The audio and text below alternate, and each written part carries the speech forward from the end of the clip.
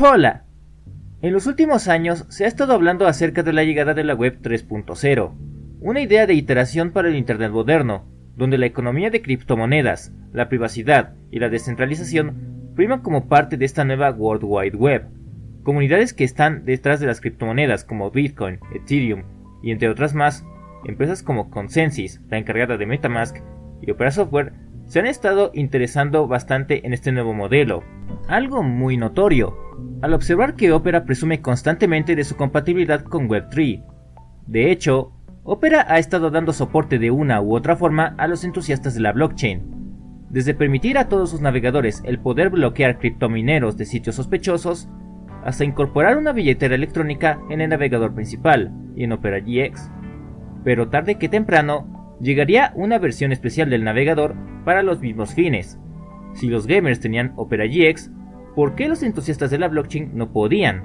Siendo así, como en enero del 2022 se lanza Opera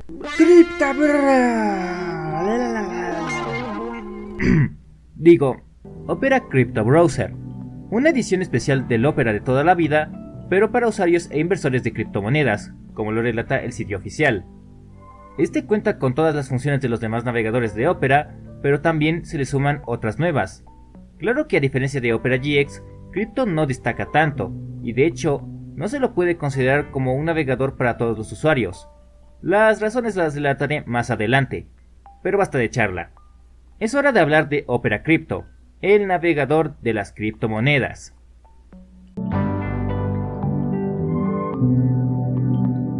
La instalación de Crypto no es nada fuera de lo común. Solo hay que ir a la página oficial para su descarga, en donde también se brinda información acerca de Web3 y el propio navegador, y en cuanto a la descarga e instalación, es bastante similar a lo visto en Opera GX. Se descarga el instalador del programa y al ejecutar abre un programa, donde Opera pedirá aceptar los términos y condiciones para su instalación, solo que después nos pide acceso a datos de nuestro sistema para mejorar la experiencia de uso, guiño guiño. Sí, ya con eso, este navegador no es para quien busca privacidad. Una vez terminada la instalación, nos deberá aparecer el navegador abierto en la página de inicio, donde unas burbujas de texto nos dan la bienvenida.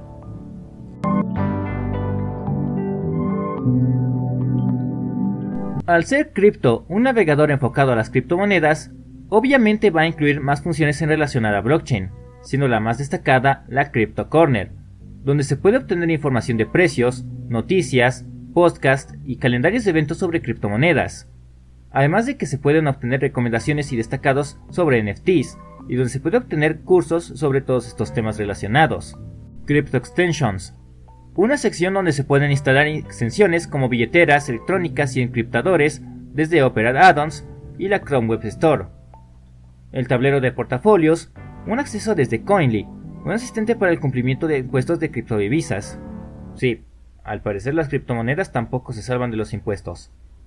Este es un punto donde las necesidades priman, ya que dependiendo de lo cercano que se puede estar al mundo de la blockchain, estas funciones pueden ayudar bastante o pueden estorbar. De ahí que este no sea un navegador para todo el mundo. Volviendo a las funciones, Crypto es una edición especial del Opera original, por lo que hay funciones que se conservan, como las apps desplegables, sitios aplicaciones que se abren desde la barra lateral, el reproductor de música, donde se puede reproducir música desde sitios como Spotify, los pinboards, donde se pueden guardar anotaciones y compartirlas, el Flow, el servicio de sincronización y mensajería de Opera, la Crypto Wallet, donde se pueden almacenar criptomonedas, los tableros, para crear y editar diversas áreas de trabajo, y el Lucid Mode, una función nueva para mejorar la calidad de los videos. A esto se le suman el bloqueador de anuncios y aplicaciones, la VPN y las páginas oscuras.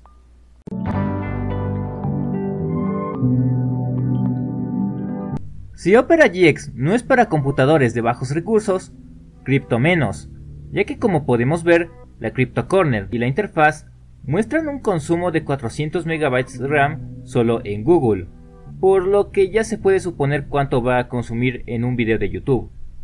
Al menos al optimizarlo empieza a consumir la mitad, aunque sigue consumiendo más RAM que Chrome. Quiero aprovechar para destacar algunos fallos como la traducción de algunos elementos, y una falla en el speed dial, donde temporalmente los elementos de la página de inicio dejan de funcionar. En cuanto a la rapidez, la apertura de Crypto es un tanto más tosca que la del Opera tradicional.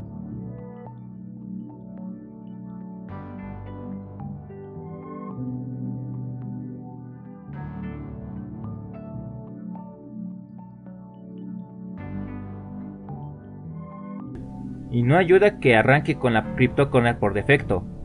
Esto solo se puede desactivar con un ajuste de arranque, configurándolo para que abra a partir de la página de inicio y fijando la Crypto Corner en la barra lateral para posteriormente desactivarla. En cuanto a la velocidad con la carga de páginas, es bastante bueno, ya que aparte de optimizar el motor Chromium, también puede cargar más rápido algunas páginas gracias al bloqueador de anuncios, aunque puede que algunas páginas no permitan su acceso a menos de que el bloqueador esté desactivado.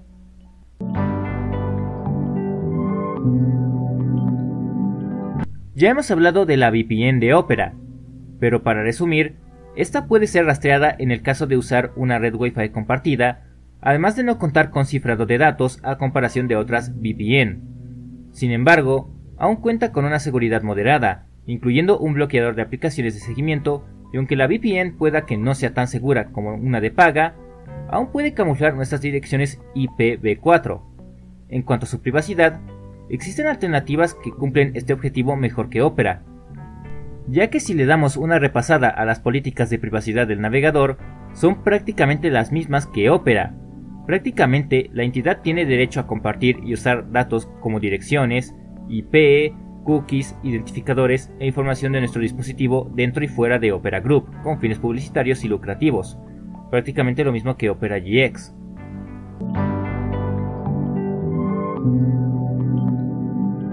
A pesar de conservar elementos como la barra lateral y el panel de ajustes, la interfaz de Crypto rompe con todas las reglas gráficas tradicionales de Opera, no solo por su paleta de colores de corte profesional basada en acuamarina, sino también por tener un modo oscuro perpetuo, es decir, que no cuenta con modo claro, además de algunos elementos de texto que relucen un ligero subrayado, además de que ciertos elementos gráficos de la superficie cuentan con efecto blur, mientras que otros son coloreados completamente, la sección de noticias muestra sus imágenes con corte diagonal, por lo que esta interfaz es quizás la mejor lograda de todos los navegadores de Opera.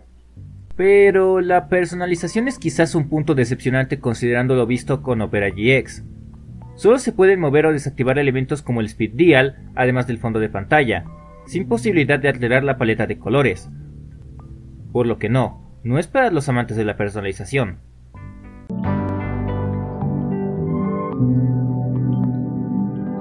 Aún hay cosas por arreglar en Opera Crypto, desde traducciones por corregir hasta funciones por añadir, pero con lo que hay, es muy bueno para el día a día. Como navegador no decepciona, sino la estabilidad y la rapidez de carga su punto más fuerte, pero sigue siendo una edición especial, por lo que no está diseñado para cubrir necesidades generales a comparación del Opera original. Si eres un usuario que busca una navegación óptima, que solo quiera ver películas en Netflix y contenido no apto para toda la familia en el sitio naranja, guiño guiño. Opera Crypto no es para ti. Si bien la navegación es muy fluida y para los estándares actuales no debería haber casi ningún problema, puede que algunas funciones se cataloguen como relleno dependiendo de qué tan adentrado o afuera estés de esos temas. Pero por otro lado, si eres inversionista de criptomonedas, deseas aprender sobre estas y demás temas relacionados a la blockchain, o si eres un usuario activo y estás al pendiente de los precios, los NFTs y posiblemente los impuestos, no estaría mal que le dieras una oportunidad. Se puede descargar gratuitamente desde su página oficial, además de que el instalador es prácticamente el mismo de Opera y Opera GX. Si bien el Opera original ya viene con algunas funciones para la Web3 incorporadas por defecto, quizás se pueda sacar aún más jugo con la CryptoCorner o el portafolio. Todo depende de las necesidades. Por el momento eso sería todo. ¿Crees que la web 3 sea el futuro? Coméntalo abajo. Puedes apoyarme con tu suscripción y la campana activa, así como dejar el pulgar arriba y una pastilla azul para quedarse en la Matrix. En fin, adiós.